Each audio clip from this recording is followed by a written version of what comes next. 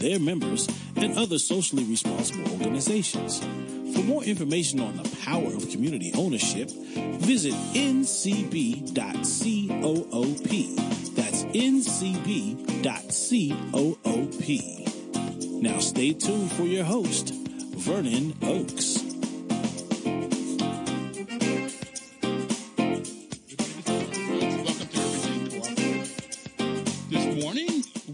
Are going to talk to our friends at NCBA CLUSA. Good morning, everybody. Hey, good morning. Good morning. Good morning. And we have sad news to talk about this morning. Uh, who would like to explain what happened in Uganda? Well, Vern, maybe I'll. Uh, this is Doug O'Brien. I'm I'm the president and CEO of, of uh, NCBA CLUSA. Maybe I'll talk about it for a little bit, and then I, will ask one of our senior leaders, our, our chief financial officer, who's been very involved, to uh, to talk through uh, more of what happens. So, you know, first of all, I do want to wish your listeners a happy New Year, and it's it's with mixed emotion that uh, NCBA CLUSA moves into 2019 because right at the end of 2018, on uh, December 17th, we learned of a tragedy in one of our projects. And Vern, you know well, and and uh, many of your listeners uh, also know that the National Cooperative Business Association, CLUSA, uh, our association that that works with cooperatives here in the United States to promote and and defend cooperatives. We also do a lot of work internationally. We're in about 20 different countries using the cooperative principles in international development to empower people in their economy, in their businesses, in their community. One of these projects is in uh, East Central Africa, in Uganda. And the project works with youth, uh, empowering them, giving them entrepreneurial skills, helping them form cooperatives. We had nearly 40 team members, my colleagues, our colleagues, working with the youth across Uganda. They were on a retreat uh, on December 17th, uh, doing a, a, staff retreat and staff training. And um, all but uh, three of our colleagues were on a bus, and the bus um, was on a hill, and um, and it appears that uh, we don't have the formal police report yet, but essentially what happened there was a one vehicle accident, and uh, half of the 36 people that uh, were on the bus perished. And so 18, actually more than half, there were 18 of our staff members, and there were three others on the bus for a total of 21 people who died. The other people, the other 16 people who were on the bus, uh, suffered uh, various injuries, some of them critical, some of them minor. So that was on December 17th, Vern, and since that time, the staff uh, for NCBA CLUSA, both uh, in Uganda itself as well as a number of key staff here in Washington, D.C., have been working around the clock to make sure that those survivors and the surviving families uh, had the support that they needed to get, you know, to get through this this early part of this tragedy. Uh, one other thing I'll I'll just mention before pausing is that um, is that we've seen in an enormous outpouring of support from the community and particularly the cooperative community uh, across the board that have reached out with their condolences and support. And we can talk a little bit more about um, how uh, you know the cooperative community can support other cooperatives in times of disaster in a moment. But um, but I'll pause and just uh, uh, stop for a moment before we hand it over to to Val. You know, um, uh, just listening to you, Doug, I I I'm very sad over here that 21 lives lost uh, right before Christmas, right before the end of the year. And I have it that NCBA CLUSA, matter of fact, I have it that co-ops really do God's work. I mean, it's helping the poor. If you look at Uganda, do any studies on Uganda and other places around the world that you work in, it's places that are people impoverished. They are in poverty. And I, I would like before we spend much more time talking about the tragedy, could somebody, Val or or Doug, uh, could you talk about the project that, that you were doing with the youth there? What, what's it called, and yeah. what, what do you do? So the the project is called Youth Engagement Through Agriculture, and YETA for short. And the work was really it was it was uh, both individual and in groups of youth, teenagers typically, and working with them on building their business skills with a real focus on providing them opportunities to form cooperatives. Uh, it's it's a very successful project. We've we've helped you know, uh, hundreds of youth from impoverished communities in Uganda build their skills and and are on a path of creating 25 cooperatives with these youth. I mean, it's a it's a really powerful and uh, successful project. We've actually overperformed on all the goals that we had with this project, and it's it's a it's a really excellent example of how the cooperative principles can be used uh, to empower people in their business and community. So that's the project, and the project is still there. And, and, and part of our work right now is, uh, and we're just in the middle of it, really, is is thinking about okay, this is, uh, you know, we have a we're in a different situation now, and so we are um, we're in the middle of considering how do we how do we continue and how do we you know make sure that we continue to serve these communities with this project in, in the best way possible. I've thought a lot about this, and the only thing, Doug, that I can say, is kind of like the benefit of a tragedy, is it really gets to focus in on what you're doing, why you're doing it, and maybe mm-hmm. even a stronger resolve to get it done in, in the name of these 21 people that died, if for no other reason. What is there a reason for such a tragedy, and what's the benefits? Of what can we get accomplished? uh, with such a tragedy. And I like you saying that the co-op community have really come together, and maybe this is something that will help us to come together and get more done in 19. What do you think about yeah. that? Yeah, uh, friend, I would like to add that. Could you give me your, your, name? Give me give it. This is Val Roach, the Chief Financial Officer of NCBA CLUSA. Okay, thank you, Val. Yeah. Yes. Um, I'd like to add that um, two of our critical goals in managing our programs are one, resilience, and two, sustainability. And so the resilience, I'd say the team that we've built and the survivors that are continuing on the um, program and that we are, you know, prayerful that they will heal are resilient. They have um, a strength and capacity that's indescribable. And um, with the energy that's been uh, placed on the program work that they've done, um, we have key stakeholders and the beneficiaries that they have truly worked really hard to ensure that that entrepreneurial spirit and building agricultural needs with the youth to ensure that they have economic development resources. We are prayerful that we'll be able to continue that within the country uh, with the team that's on the ground there. And I could see just from visiting the the injured that that resilience exists in their will to heal and Val, to continue. Okay, let me just. You went over and visited there after the accident. Yes.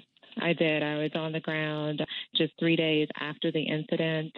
We also have a few other individuals that went out into the field as well, another senior leader, to ensure that we were able to provide proper care, that we could navigate, and um, to ensure that our team are able to receive the proper care, that their families are receiving the needs and support that is needed in this tragedy. What were they mainly needing?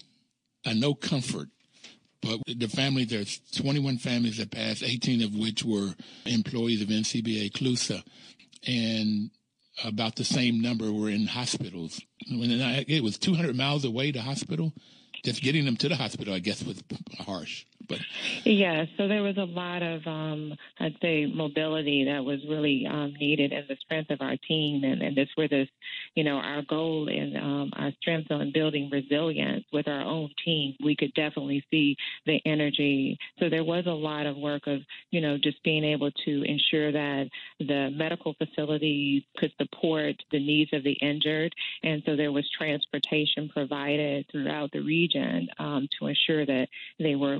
Receiving the proper medical attention at various hospital locations.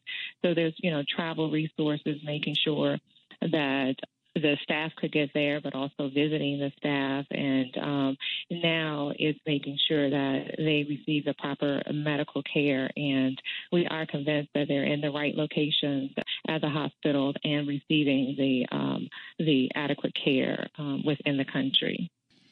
What about the families of the of the em- employees that, that were lost? How could you support them, or how can the co-op community support them? Yeah.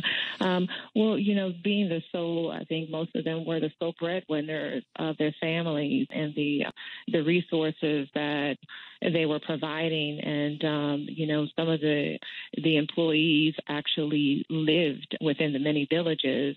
Their permanent residents were within the villages, but they had temporary housing within the city of Kampala and uh, various areas where they're working throughout Uganda.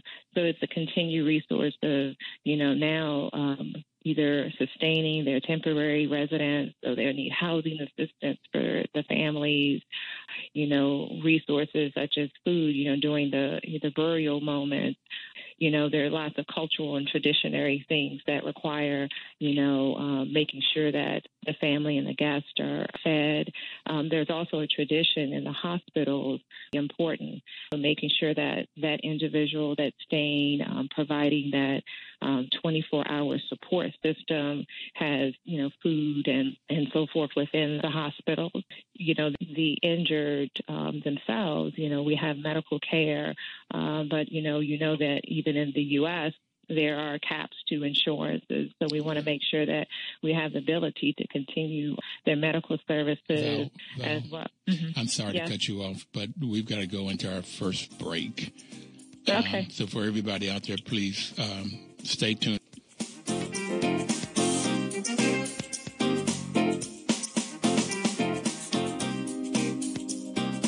Washington, D.C.'s News Talk, 1450 AM WOL and 95.9 FM. Welcome back, everybody. This is Vernon Oakes. A little choked up today. We're talking about an accident that happened in Uganda on December the 17th. We have Mr. Doug O'Brien, the president of NCBA CLUSA on the line, and Valerie Roach is their chief financial officer. And we have not heard from John yet. He's head of communications. Val, you were talking about the, the problem there and the needs. Can either one of you talk a little bit about Uganda? I understand that this program for youth uh, worked with about 26,000 youth in, in Uganda. But can you give a little, little sort of backdrop of Uganda? What's the population? Um, how poor are the folks there, or rich, or well, I'll, I'll just start, and I'm, I'm going to hand it over to, to Val. As she just said, she spent uh, nearly a week there, just returned. But Uganda is a, you know, it's a it's a nation in East Central Africa. It, like many countries in that region, the the vast majority of the population is, you know, what we would consider impoverished. Most of the people are still, you know, based in in agriculture there are a number of cities there, but uh, but most people still live in the rural parts, and they rely on on agriculture and, and what here what we think in the United States is small scale agriculture uh, in a more communal way. So that's that's really one of the things that that we're working on with these thousands of youth is is to provide them opportunities and pathways, you know, to more success. You know, and I know Vernon, you've been there. The assets, the resiliency, as Val talked about, you know the the uh, the drive of the people in Uganda and in that region is is incredible. You know what they need is just a few more tools to empower themselves, uh, to sustain their livelihood, to improve their um, their lot and their family's lot, and that's that's one thing that I've certainly heard from the folks who have been working in Uganda, including in just this last couple of weeks, is is the drive of of the people we work with, and, and in fact, our staff there, our colleagues, how they are so focused on improving, you know, the opportunities for their families. So, so in many ways, it's a lot different than maybe, uh, you know, the the communities where most of your listeners are, Vern. But in in really important ways, the same. It's it's people who are looking for opportunity, looking for ways to take care of their family, looking for ways to serve their community and um, and we had an attitude. You know, we've we've had some opportunities to, to help people do that. So, Val, I'm not sure you want to you know provide some kind of direct testimony as you were just there just days ago. Definitely, um, and just to give you an example of you know our employee based uh, those that um, have passed on, um, every position in that office was a form of saving lives and providing resources to um, families. And um, in saying that, we have lost, you know, staff that are were drivers um, who provided transportation and guidance to the, the many sites where uh, we were working with youth, office assistants who supported and, and helped us to um, fulfill the commitments on the projects by providing administrative support. They were the only ones working in their families. And um, so there's a, a lack of income and those positions provided um, opportunity in the future for their families, and they no longer have that opportunity. And, um, and so, what we are faced with now, how can we continue to support those families and ensure that those that have left children behind have an opportunity and that they can also see that there there is a future and and how can NCBA help believe that there is a form of sustainability that uh, we can provide for their futures. So I, I just want to get you said it's agriculture, it's, it's small villages. Do they have electricity? Uh, do people go to school? Um, yes. That, yes. A little, mm-hmm. how how is the food situation in Uganda? Yeah. The children go to school. Now, the educational systems may vary in different parts of the country, and um, and whether or not the families are, you know, closer to the city or to a town that has um, a full formal educational system, but there are opportunities. And by providing employment to the, the Ugandan citizens, we've allowed them to be able to provide educational resources for their children to go to school as well. What about electricity? Their income. And they have electricity. Definitely, there's electricity. Um, there are village areas that electric- electricity does not extend. So that is an issue um, in certain parts of Uganda. It's very high with mobile cell phones. There's also limitations with, um, you know, banking resources, but mobile banking is a way that we're able to, even with our own participants and our programs and training, is to get, you know, cash and resources to people. So there are alternatives in place, but it's definitely, you know, different living environment than what we experience on a day to day basis. And I mentioned earlier one of the um, support systems that we want to work with supporting is the alternate living arrangements, where some of our you know staff in the communities they live in the city temporarily, so they're paying rent in Kampala, but their families live in um, a distant village, you know, hours outside of the city, where they're still having to support um, their beneficiaries and how do we continue to manage this process while we work through, you know, kind of um, long-term sustainability for their their families who may not have the ability of um, an educated person that ha- or a skill set that hasn't been fostered to allow them to go into the workforce. Wow! And Doug, you were going to say something? Yeah, you'd asked earlier about ways to support, you know, the the people affected by this tragedy, and and I'm going to ask John Torres to talk for a little bit about something that um, you know that that we've been talking about here is that the Cooperative Development Foundation, 501c3, is uh, reminding folks that the cooperative community has a long-standing tradition of helping in times of need, uh, and there's a disaster fund. Uh, there's links on the CDF website. There's links to um, to this fund on some of our uh, the press releases related to this tragedy.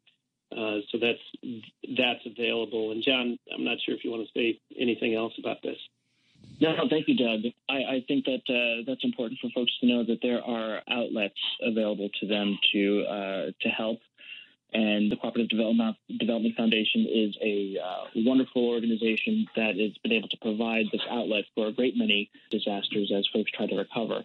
And so you can go to uh, the Cooperative Development uh, Foundation's page at cdf.org co-op, that's cdf.coop, and and look at that fund and see all the wonderful work that it's uh, that it's been uh, doing for the cooperative community throughout this country and, and around the world. So, CDF.coop is a place that our listeners can go to, anybody can go to, to provide funds for any disaster. Can you give us, John, a couple disasters that they've had in the past? Sure. In North Dakota, there was a food cooperative that had damage, uh, flood damage after um, some uh, extreme weather. They've uh, replaced uh, coffee processing equipment uh, following an earthquake in Ecuador. And these are all to help cooperatives get back up on their feet and help the families that are supported by those cooperatives and the community in which those cooperatives function.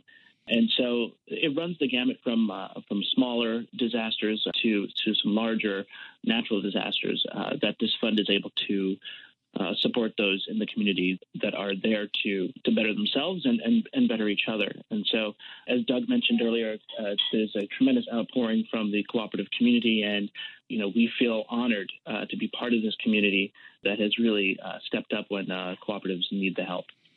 I remember Hurricane Sandy, um, with that hit New York and up that CDF came through the disaster fund for cooperatives, particular housing co-ops, I believe, when FEMA didn't help. Right. Yeah, yeah. that's right. That's, yeah, the CDF disaster fund was used to help people affected by the more recent hurricane affected Puerto Rico and, and Texas and Florida, and, and uh, we saw a lot of support in that, and that was just in, in 2017.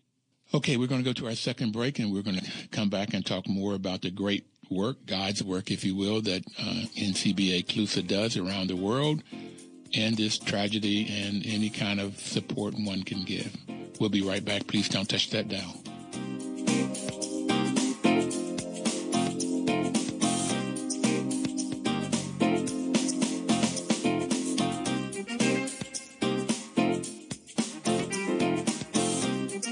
Washington, D.C.'s News Talk, 1450 AM WOL and 95.9 FM. Welcome back, everybody. The program is Everything Cooperative, and I'm your host, Vernon Oakes, and we have on the line with us this morning Doug O'Brien, the president of NCBA CLUSA, John Torres, who's in charge of their communications, and new to the program is Valerie Roach, who is the person in charge of the money, financial. we're talking about a major tragedy that happened in Uganda. First, we're talking about the great work that NCBA CLUSA does around the world. And Doug talked about taking the cooperative principles and helping to spread them throughout the world. Doug, one of the things that I like when we talk about the values and principles of cooperation is the ethical values. They say the cooperative founders believe in the ethical values of honesty, openness, social responsibility, and caring for one another. And this caring for one another is what the co-op world does and does so greatly, and this is why I believe that you have this outpouring from the co-op world when this tragedy happens to to the folks in Uganda. Do you have a sense that that's what's happening here? Oh, I, I think that's absolutely the case. Your listeners probably know, you certainly know, two of the, the seven cooperative principles the sixth principle of cooperation among cooperatives, and then the seventh principle of concern for community. I think those come together in times like these for members of cooperatives to reach out and support their brethren and sisters and you know fellow cooperators. It is part of I I believe people who choose to be part of cooperatives they understand uh, the importance of, of putting people at the center. Uh, and you know, in, in cooperatives uh, case, it's the people in the center of, of a business, but that translates to, I think, to a real outpouring of, of support and empathy and sympathy in times of tragedy. You know, and that's why I think the CDF disaster fund that we talked about in the last uh, in the last section there has been such an important tool for the cooperative community in times of tragedy. Well, I, I forgot where I got this from, but co-ops believe in people first, planet second, and profit third compared to the capitalistic model, which is they have three P's too. Is profit, profit, profit. it seems. it seems. Okay. But people first, planet, profit, and I put a fourth P, and that's politics. We really have to be involved in the politics in order to help shape those policies that that the politicians are are out there doing that would help people, Mm-hmm. uh, help the planet. Who would like to talk more about what what is it that we can do as a community, as a co-op community? What what are the things that we can do to keep doing God's work, but particularly again when I look at tragedies is is okay, what can we learn from this? And I get a, a even a more resolve in in 2019 of doing this work, of getting this knowledge out. The fifth principle is education, training, and information, and that's what they were going to do on this bus was get this education and training and information so they could go back and help youth even more. So, what can we do as as a community to help get this knowledge out?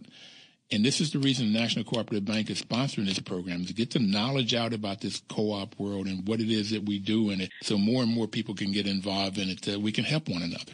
What what can Yeah, we do? if I maybe I'll talk for a little bit, and then I want to I want to ask Val and, and John to, to talk also maybe more specifically about about Uganda or whatever they want to talk about. But I think your your point is absolutely spot on.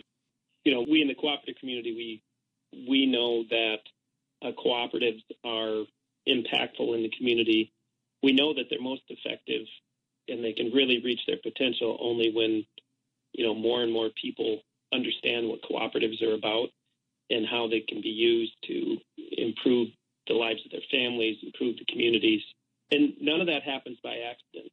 I mean, it, it needs to be very deliberate. When we think of some historical examples of when co-ops have really kind of taken off and, and gone to scale, whether that's with rural electrics or agriculture, credit unions, food co-ops, this didn't happen by accident. It happened when people decided to to really invest their their time, their social capital, their financial resources into this strategy that has amazing outcomes. Outcomes for the the individual members and their families, but also outcomes for the communities.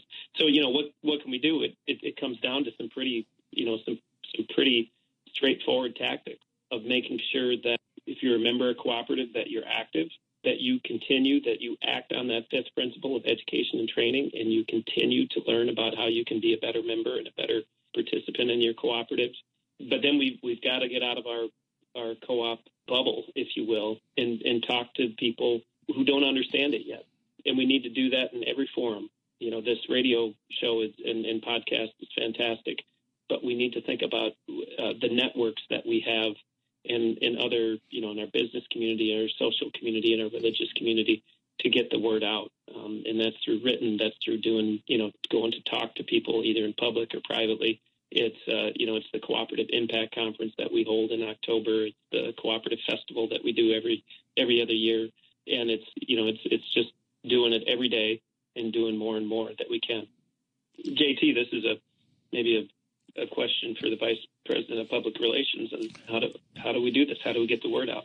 John, I've never heard you. impact. I've never heard you be called JT. I like that, John Torres. JT. It's, it's a term of endearment, and I appreciate it. Um, yeah, there, there's a great many things folks can do. Please ju- just share the story. Share the story of your cooperative. Share the story of the interpersonal relationships you have with your fellow members and, others in the community, and share those far and wide. Everyone has access to a social media account. Those can be used for good. And please tell that story. Be those ambassadors and, and go out and uh, and lift cooperatives up. And uh, as Vern said, uh, you know there is uh, those three things: the uh, the people, uh, the planet, and, and and profit. And those first two, the people and planet, those are what we focus on as cooperatives. And it's important that we that we raise those folks up and, and let folks know that these are folks that are empowering themselves, that they are taking care of their own communities, and uh, and tell those stories. So please use those social media channels, share that information with each other, and uh, that's how we can get the get the word out. And Val, what about what specifically can we do in Uganda for for the families that are left behind without a breadwinner, without that that main person providing funds, and for those 26,000, 26 plus thousand youth? Did I read a stat that says that they live on two dollars a week, two dollars a month, two dollars a day? There was some. When you say impoverished, I don't think we even know how bad mm-hmm. bad can be. Mm-hmm. Mm-hmm.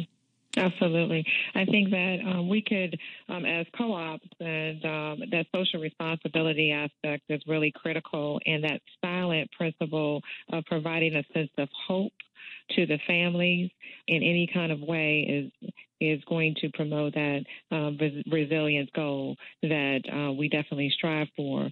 Um, one key area is the long term recovery. It's really important that resources are provided for rehabilitation, you know, outpatient, you know, services, um, the home care, you know, their families, you know, food source, um, continuing to make sure that they have, you know, meals um, and uh, resources for you know, clean water um, in some of the areas where they live, and that the children are able to continue um, in school um, of the deceased. You know, we have tuitions, you know, payments and things of that nature. Well, being on the ground, you know, asked to say, well, school payments are due, and we don't have access to any of the resources that the staff members, their bank accounts, because things are shut down right now, as um, the police report, as Doug mentioned earlier, and other things that are required to close out and to give access to beneficiaries. So there's a great deal of limitations for just a day-to-day uh, economic need of the family. So when I heard about this, and I wasn't going to say the amount, but I'll go ahead and say it here. I I, I got my checkbook out and not the well credit card out and sent two hundred fifty dollars to CDF. Now I did want to know: is there a way, particularly when you talk about long term, if sort of I said I wanted to give fifty dollars a month, just ongoing, could could it be set for Uganda? Can CDF do that? I know we don't have anybody from CDF on the line, but could they could they say here's money that I want to set specifically for this project. Is there a way of doing that?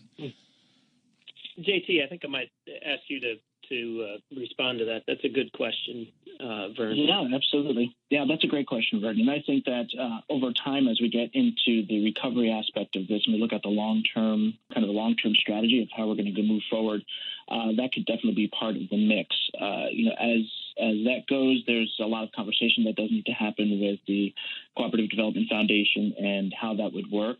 But you know, I think that there uh, there is an appetite for folks to to provide some continuous support, uh, and so that's definitely something we're going to look at uh, in the coming months as we uh, work on the recovery aspect for this. But thanks for bringing that up. Okay. I really wanted to know if there was a way that I wanted to personally do that too, and so it's like I assume there may be some other people out there uh, partic- I hadn't even thought, Val, of long term for these families. The main breadwinner may not be there, and they may have, you know, spouse and children in a village somewhere, wasn't even in a city. And and you, you said there was temporary housing. Uh, it's a whole lot. It sounds like it's not just how do you bury yeah. somebody. It's like how do you bury and sustain over over time. Okay. Anything else, Valerie, we can do? Yeah. I think your your kind words, your kind support, they're the hearts um, and the zeal that um, the survivors and even the families of the deceased, uh, they're so warm hearted and they're so thankful and grateful for the support that NCBA CLUSA has provided. And um, they extend their arms to all of us to, you know, help them. And um, if we can't directly help them, indirectly lead them the way to um, someone else that can support them. And so our, our hearts and our arms are open to embrace them however we can. Well, I've been threatening, and I keep telling Doug when he takes some of these trips, I like to hang along and see. I've only been in, in the, what's that? I've been in Sierra Leone and one other, Gambia. I haven't been on the other coast, so maybe Uganda would be a place, but I really want to see the work uh, with these young folks. I'd like to see the the co-ops. You said it, 25 different co-ops, 25 different businesses being developed that can help people sustain themselves. So when can we take a trip? Maybe we. Yeah. I know there was a group of people that went to Haiti, a group of cooperators that went to Haiti. Maybe mm-hmm. we can get a group to go to Uganda. What do you think? That's yeah. a great idea. Let's keep talking about that, Vern. Whether it's Uganda or someplace else, I, mm-hmm. you know, Val, of course, is, was just there.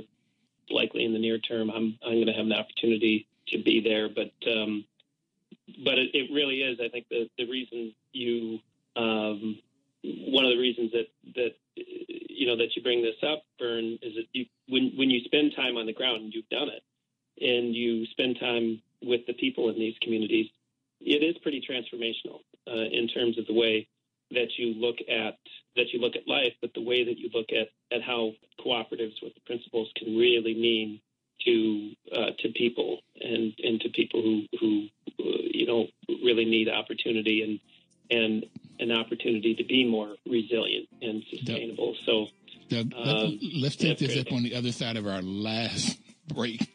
Let's let's spend some more time talking about what we can do and sort of like plan out future stuff. We'll be right back. Washington, D.C.'s News Talk, 1450 AM WOL and 95.9 FM. That's right. Information is power, and that's why WOL is a great, great partner for this program. But Papa Sen from NCBA CLUSA, our first month here on the program five years ago, said it's not information that's power um, Papa Sin from Senegal. He said is when you use the information, when you put action to it, that's where you get your power. And Dame Pauline Green said, uh, cooperatives help people come out of poverty with dignity. And I like that a lot. Come out of poverty with dignity. So what we're talking about is Uganda. This could happen anywhere in the world, including right here in the United States. Help people come out of poverty with dignity. And what we were talking about before the break, uh, we have Doug O'Brien, John Torres, JT, and Valerie Roach on the line with us. And we were talking about some of the things we can do long term to help people come out of poverty with dignity. So, what are some of the other ideas you guys thought about in, the break, during the break? I was going to just add to one of the um, important areas is for us to provide counseling and resources to uh, the extended families. You know, dealing with a tra- tragedy is not easy, and uh, we want to make sure that there is transitional support for the families. And that they know that um, there's a listening ear and some comfort that can be provided when the family themselves may be broken, that there's some extent, external resources that can be extended to the families. Is there any any kind of culture things that would get in the way of counseling in Uganda? No, fortunately, Uganda does have um, counseling services locally, so it is a common um, area that the um, the locals can reach out to. Fantastic. And so we were very pleased to find that there are local resources. And I think it's really important that local resources are provided because you also have the cultural support that's needed and the approach and tactic of the delivery of the counseling may be unique and would make sure that those areas of um, sensitivity are being accomplished appropriately. Doug? Yeah, I think the in terms of how to respond and, and how to support the folks in Uganda, uh, I'll, I'll, take it a, a, little bit more general in that just making sure that, that people from across the world in Uganda and Africa and, and other parts of the world have access to the ability to create cooperatives. And that means that information and, and you know the ability to act on the information, as you said with, with Papa Sen, but it also means you know the the ability to have access to great trainers and actually a, a, legal environment that allows them to form cooperatives. There's there's actually many countries in, throughout the world that um, that enabling legislation isn't there. So that's that's something that we we work on with the International Cooperative Alliance. Those are some key ways to support you know people generally. And now that there's there's thousands of people in Uganda who who now have a better understanding, a much deeper understanding of what cooperatives can mean. I think these these types of uh, strategies are are uh, you know are, are even more important in Uganda than than they were before. And I'll, just mention, and I know we we talked about it a couple times, but that CDF disaster fund is available uh, is is always available actually for people who want to support other cooperators, the cooperative community in times of disaster. And, and, um, and you just look up the Cooperative Development Foundation website, and, and uh, you'll be able to find a way to, to be able to participate and support, you know, other cooperators in, in times of need. Well, Doug, Roberta MacDonald from Cabot Creamery said on this program that the people from NCB are angels.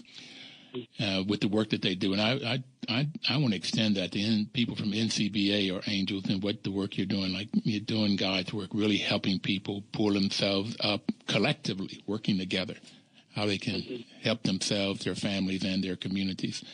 So, do you all like what you do? I'll, I'll, I'll go first. Everybody wants to go. All right. go first on this. Let me tell you. we're, yeah, we're all going to jump in on that. I'll, I'll, be quick and and, and, uh, look forward to hearing from my colleagues. but uh, yeah, the, the the opportunity, and that's very kind of you to say about about uh, the team here at NCBA CLUSA.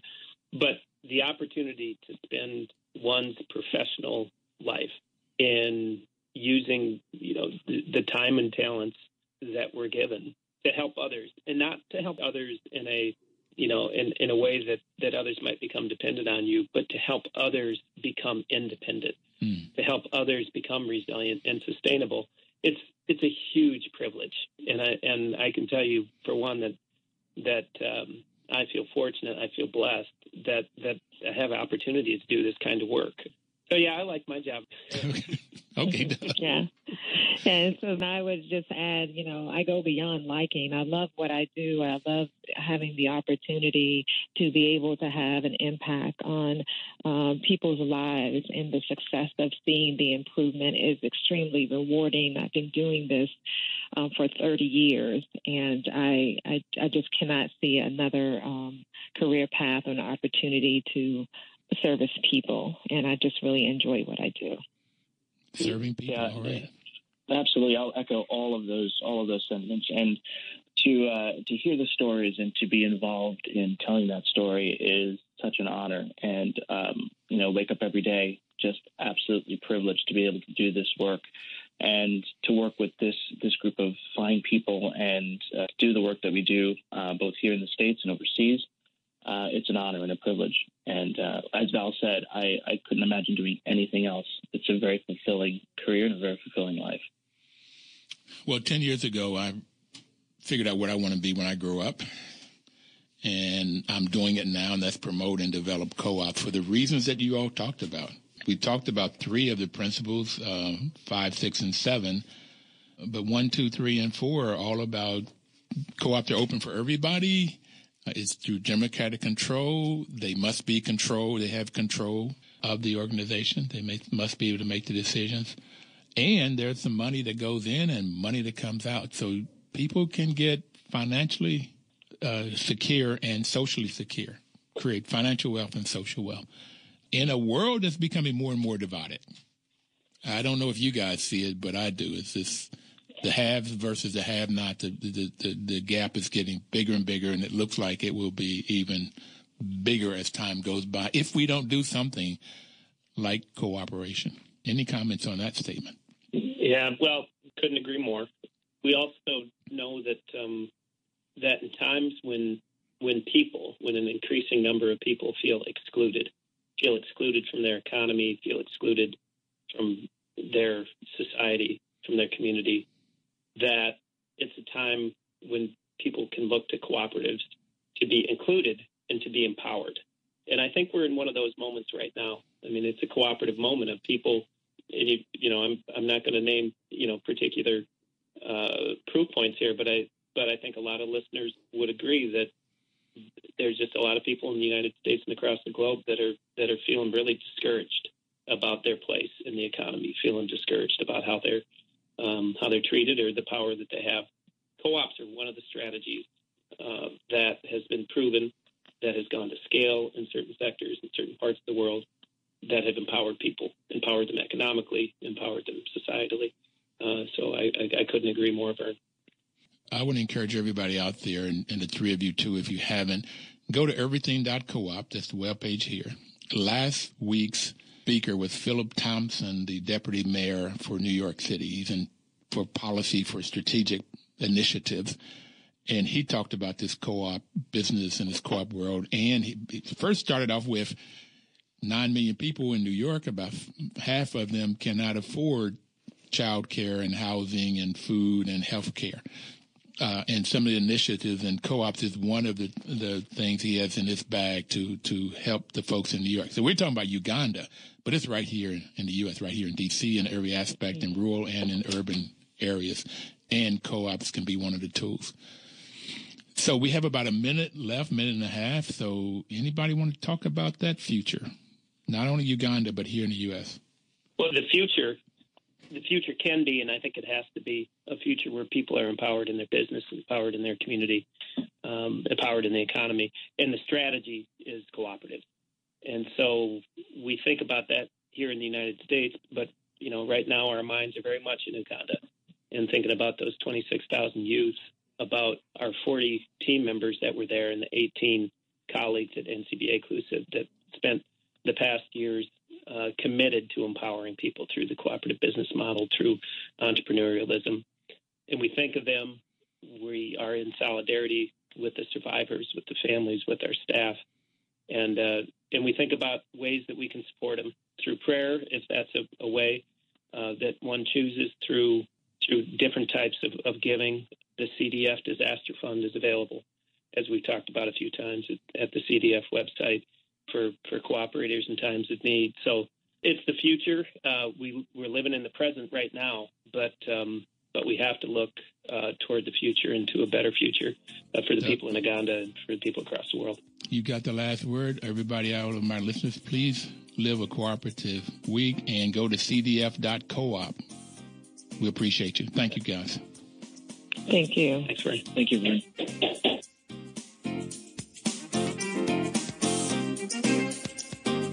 Washington, D.C.'s News Talk, 1450 AM WOL and 95.9 FM.